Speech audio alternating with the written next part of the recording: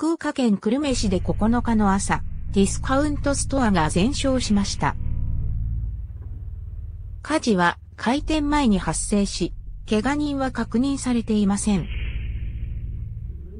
9日の午前6時半頃、福岡県久留米市城島町、大井でディスカウントストアが燃えているようだと、店の関係者から消防に通報がありました。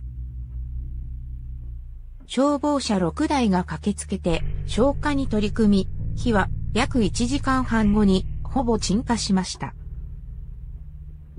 この火事により、店舗一棟、約1200平方メートルが全焼しました。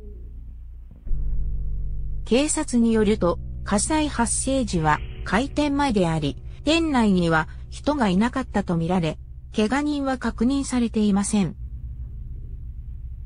店の関係者は防犯カメラの映像によると、火災は店内の家電売り場から発生したようだと話しており、警察と消防当局は火災の原因を詳しく調査しています。